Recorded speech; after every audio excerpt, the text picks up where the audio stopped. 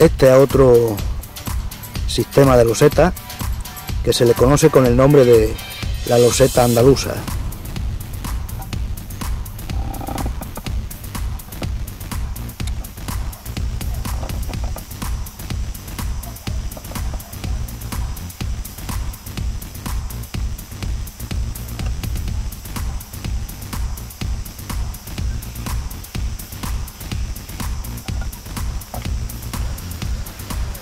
El funcionamiento de esta loseta se basa en que aquí dentro removemos un poquito la tierra o bastante.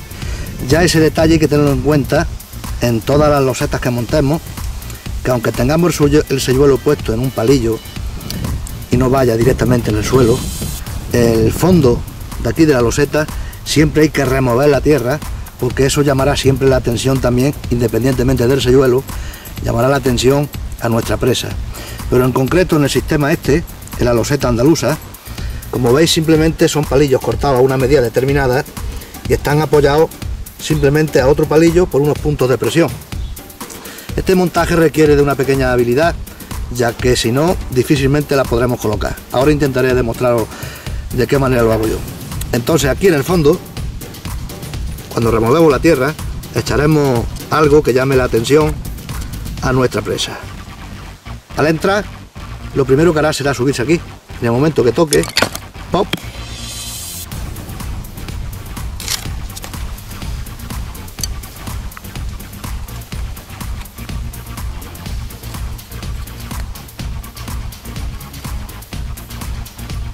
Aquí no lo pondremos nunca en el centro, siempre dejaremos las partes más largas hacia abajo.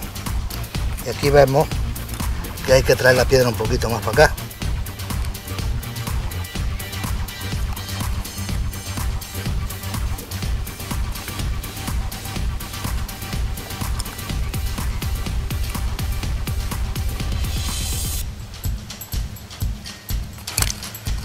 Bien, esto es lo que sucede cuando uno no está acostumbrado a ponerlo son varios intentos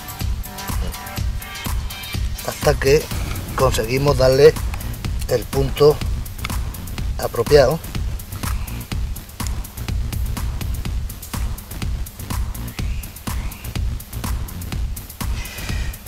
Parece ser que se ha quedado. Colocamos nuestras piedras. Ya anteriormente hemos echado la comida y ya tenemos nuestra loseta lista.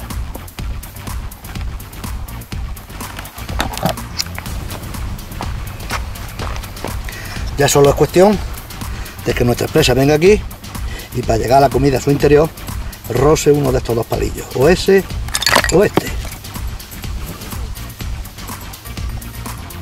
La medida que hemos utilizado de los palillos para los setas andaluzas es de 27 centímetros los dos palillos el más cortito